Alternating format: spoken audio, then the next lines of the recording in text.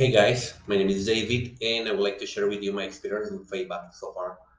I found out about FAVA through Remote Co as I was searching for a job when I found out to apply to this agency.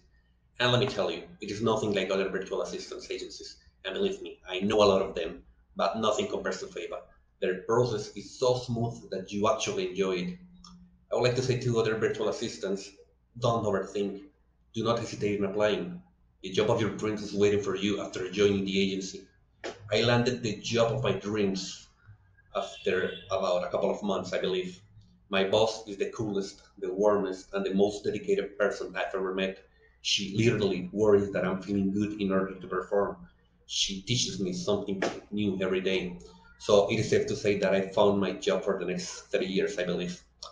Finally, I would simply like to give a huge shout out to Omir. He created FAVA, and in terms of other agencies, this is the GOAT.